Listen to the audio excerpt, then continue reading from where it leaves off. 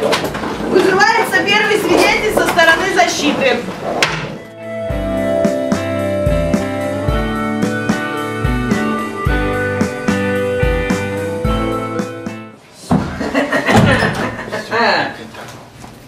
А террорист?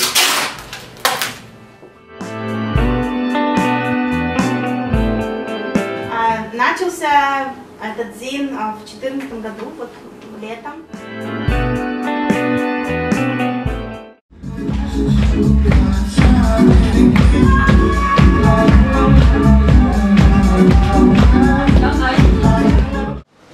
Изобретение прототипа инкубатора Божена стало успешной попыткой освободить организм человека от биологического угнетения при производстве потомства.